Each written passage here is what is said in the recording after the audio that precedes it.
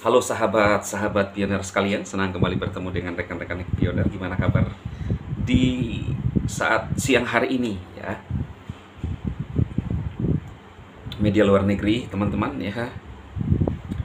Saya bacakan mengapa jaringan pi bukan mata uang kripto biasa. Ada ini ya. Nih. Digital asset. Oke, bukan bukan ya memang aset digital tetapi bukan hanya kripto biasa ya. Kita perlu paham ini teman-teman. Bagi yang sering uh, melihat video-video saya juga ya.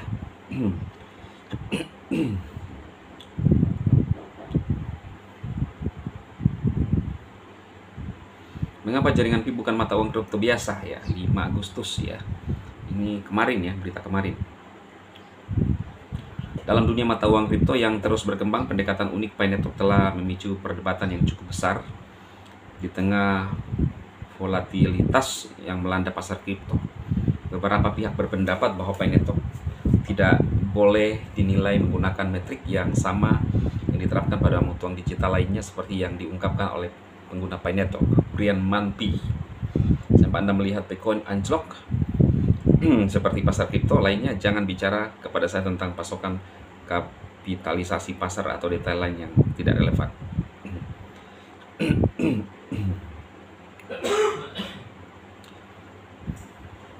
Jaringan pi pendekatan unik salah satu alasan utama mengapa pi network dianggap unik terletak pada proses penambangan yang inovatif.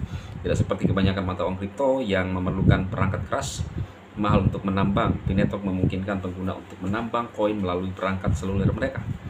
Model ini mempromosikan inklusivitas yang memungkinkan kelayak lebih luas untuk berpartisipasi. Pasokan dan kapitalisasi pasar bukan fokus utama. Mata uang kripto tradisional sering kali berfokus pada masalah keterbatasan pasokan dan kapitalisasi pasar. Namun Pay Network menekankan keterlibatan dan adopsi komunitas sebagai metrik utamanya dengan mendorong penggunaan koin secara lebih luas dalam transaksi sehari-hari Pay Network bertujuan untuk menambah nilai di luar sekedar angka pasar ya volatilitas pasar strategi yang berbeda. Pasar mata uang kripto terkenal sangat fluktuatif dengan banyak aset digital, mengalami lonjakan nilai yang dramatis diikuti oleh penurunan tajam. Pendekatan cash by network dapat menawarkan strategi yang dirancang untuk mengurangi fluktuasi pasar ini. Meskipun ini belum sepenuhnya diuji, strategi jaringan dapat memberikan stabilitas jangka panjang yang lebih baik.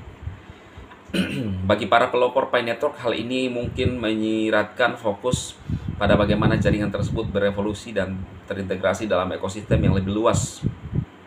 Meskipun Pi Network belum menghadapi dampak pasar yang sama seperti mata uang kripto lainnya, komunitasnya tetap berharap bahwa inovasi inovasi dan adopsi yang berkelanjutan akan membentuk masa depan ya. Model unik ya dan pendekatan yang fokus pada komunitas dari Network memberdayakan membedakannya dari mata uang kripto lainnya meskipun metrik tradisional seperti kapitalisasi pasar dan pasokan mungkin tidak sepenuhnya menangkap potensinya. Network terus maju dengan visinya yang unik, hanya waktu yang akan membuktikan apakah model ini akan berhasil. Ya. Tetapi untuk saat ini Network menunjukkan bahwa ia memiliki lebih lebih banyak hal yang ditawarkan daripada sekedar angka grafik pasar ya.